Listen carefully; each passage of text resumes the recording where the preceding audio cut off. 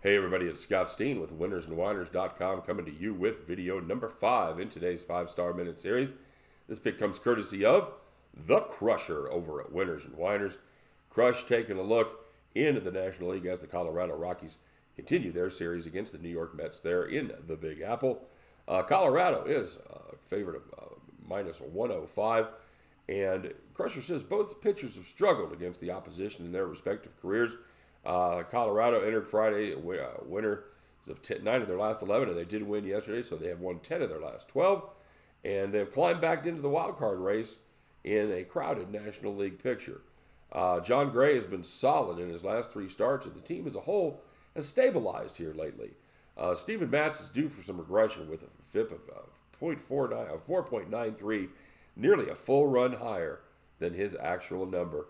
Colorado's clicking off offensively and is expected to have Charlie Blackmon back to lengthen out their lineup.